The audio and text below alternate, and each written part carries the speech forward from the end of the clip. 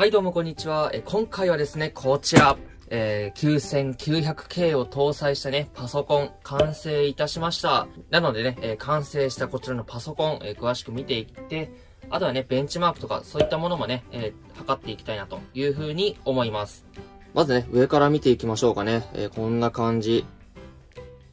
最初ね、白の方が良かったかなと思ったんですけども、思った以上にね、このペリペリ取ったらかっこよくなってね、あ、いいじゃんみたいな、なりましたね。ちょっとね、見にくいんですけども、ここのね、えー前面パネルのところ、ヘアライン加工になっていて、こうやってね、反射するんですよね。これがね、えーすごい上質。こうやってね、えー見てもね、すごいなんかおしゃれっていうかね、がっつりパソコンって感じがしなくて、私的にはすごい好みでした。やっぱこれ買ってよかったって改めて思いましたね。まあ、この辺ね、パーツ紹介編でも見せましたけども、この辺がね、スイッチ周りですね。で、えこうパカって開けると、こんな感じで DVD ドライブが入っています。ここはね、簡易水冷と干渉するので、まあ、下側につけたといった感じですね。でね、えこの奥、ケースファンが2機ついてるんですけども、えこうやってね、前面にグリルがついてるといった感じですね。でね、パネルのこっち側、内側なんですけども、これね、え防音材になっていて、こうやって閉めるとね、若干このファンの音っていうのが、まあ、吸収されるという仕組みになっています。まあ、言うてね、えこのサイドのところはね、穴が開いてるので、めちゃくちゃ静かになるってわけでもないですけども、このパネルがね、あるとないでは全然、えー音の違いっていうのは感じられるというふうに思います。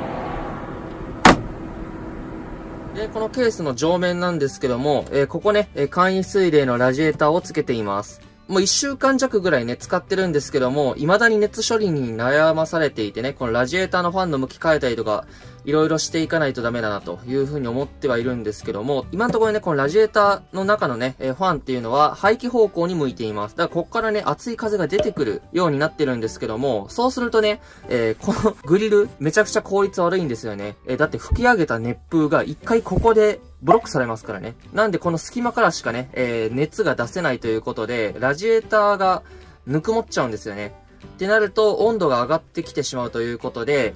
今の策としては、これね、えプラスチックのやつ、外れるようになってるんですけども、現在使ってる時っていうのは、えーここを外した状態で使っています。ただ、この外した状態でもね、えー熱風が遮られてしまって、この周囲からしかね、出すことができないので、ラジエーターのファンを吸気方向、だから吸い込む方にね、向ける。その場合だったらね、この四隅の穴から全然空気吸い込めますので、全然大丈夫だというふうに思うのが一個と、ここにもね、実はラジエーター 240mm までつけることができるそうなので、えーこっちにラジエーターを取り付けるといった方法もあります。ただこっちもね、えこうやって塞いでしまうので結局ね、こことあんま変わんないかなと。ね、使うたんびにここ開けてっていうのはちょっとね、シンプルじゃないので、まあ現状はね、えー吸気方向に向けるのが一番かなと思うんですけども、まあいろいろね、ちょっと改善していくところはこれからもあるといった感じです。でね、このケース、サイドパネルが、えークリアになってるんですけども、こうやって中身が透けて見えております。いいね。一応ね、この中に入ってるパーツ、いくつかは光るものなので、せっかくなんでね、ちょっと電源つけてどんな感じか見てもらいたいというふうに思います。ポチッと。ちなみにね、ここのケース、スイッチも USB のところも全部ね、青く光るようになってます。で、アクセスランプはね、ここについていて赤くなるといった感じ。いいね、なかなか。はい、ケース越しに見た感じ、こんな感じです。なかなかね、かっこいい。あんまりね、ギラギラさせてないからね、えー程よい感じで余計いいなっていう風に思う。はい、開きました。はいまずはね、マザーボード周りです。えー、なかなかね、かっこいいなって我ながら思うんですけども、まあ、ケーブルもね、だいぶまとめたんでね、だいぶスッキリはしたかなといった感じなんですけども、とりあえずね、ここのケースファンは、付属のものから、えー自前のものに取り替えています。ケースにね、標準で付属していたファンが、ちょっと雑魚かったので、前使ってたパソコンにつけていたケースファンの、まあ、4ピンね、刺さるタイプを、今ここにつけています。でね、えー今上ここリングに光ってるのが、アンテックのマーキュリー240という簡易水冷クーラーでございます。色はね、青色固定なんですけども、えーなかなかいい。えカメラ越しだと結構水色っぽく見えるんですけども、実際にはね、もうちょっとブルーっぽい感じになっています。でね、このポンプの部分、ここね、アンテックってところ緑色にね、ピカーっと光っている感じなんですけども、このね、えカラーっていうのは、水温によってね、え色が変わるようになっています。35度までが青色、36度から40度までが緑色、41度以降が赤色だったと思います。まあ、そういった感じでね、水温によって色が変わるということなので、えパッと見ただけでね、えー、今どれぐらい負担がかかってるのかっていうのがね、えー、目視で分かっていいなというふうに思います。低負荷値はずっと青色なんですけども、今さっきまでね、動画の書き出しとかしてたので、まだ水温がね、冷ま、冷めていないということで、今緑色になっています。まあ、だから極端に熱い状態とかいうわけではないです。今ここね、ほん、もうぬるいぐらいの、ぬるいもいくかなぐらいの温度ですね。でね、こちらには、エルザの GForce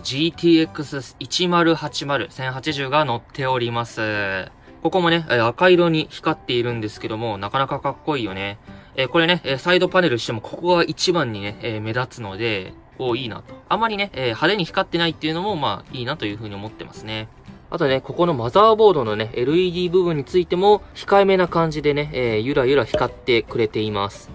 でね、えー、この光り方っていうのは、えー、パソコンにね、ソフトを入れれば、カラーだったりね、光り方っていうのを変更することができると。え、パソコンにね、ソフトを入れても操作できるんですけど、iPhone にね、こういった MSI のアプリを入れてあげると、こんな感じでね、スマートフォンからも制御することができると。今ね、オフになっているので何にも光ってないんですけども、これをね、例えばじゃあ、レインボーって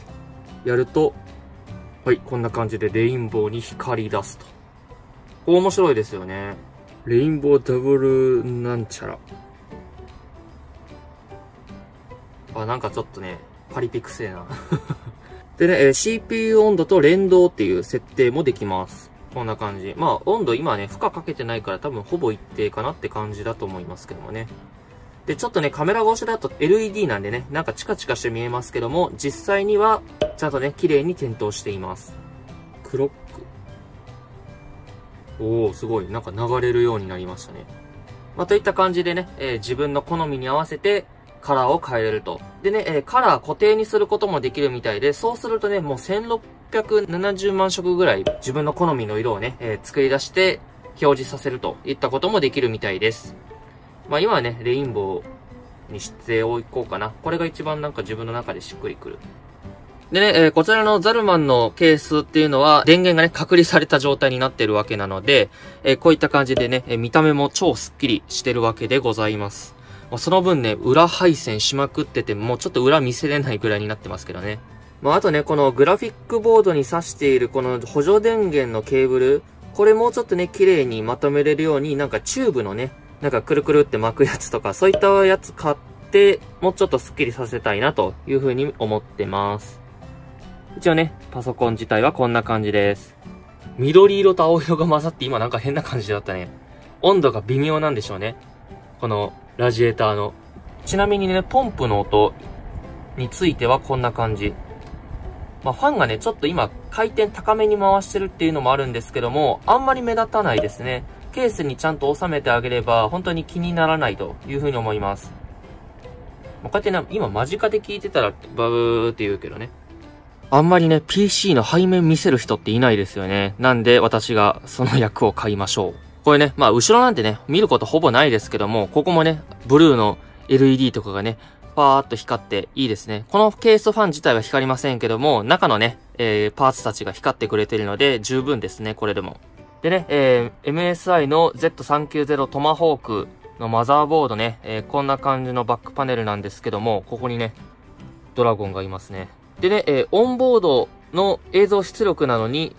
ディスプレイポートと HDMI っていうね、超今時の装備がついてるっていうのも、なかなかいいなというふうに思いました。環境によるけどね。だいたい Z390 のマザーボードでも DVI、VGA、HDMI が鉄板ですね。まだからディスプレイポートで HDMI ついてるってなかなかレアだというふうに思います。今ね、私の繋いでいるパソコンのディスプレイがね、えー、ディスプレイポートと HDMI という形式なので、まあ、グラボね、つけてるから関係ないけど、そういう点もね、一つ参考になればと思います。でね、ランタン紙ここ2個刺さるんですけど、使わないですよね。2本刺したところで何が起きるのかちょっとよくわかんないんですけどもね。で、一つね、この LAN 関係で困ってるのが、Wake on LAN。だからね、LAN ケーブルに、えー、電源起動しろって信号を送って起動させる方法っていうのがあるんですけども、それがね、このマザーボードでできないと。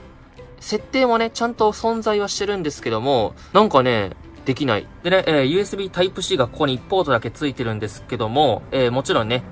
ジェネレーション2の、えー、高速タイプになっています。でね、えー、ここいいなと思ったのが、この赤色のね、USB Type-A の端子3つ付いてると思うんですけども、この端子もすべてジェネレーション2対応になっています。これすごく珍しいんじゃないかな。え、大体のマザーボードだと、タイプ C とタイプ A のジェネレーション2ポートが1つずつ。で、ここはジェネレーション1のタイプ A のポート。で、上が3.0と2.0みたいな感じなんですけども、このね、トマホークのマザーボードは全部ね、ジェネレーション2なので、どれに挿しても高速に通信できるというのが、えポイント高いなというふうに思いました。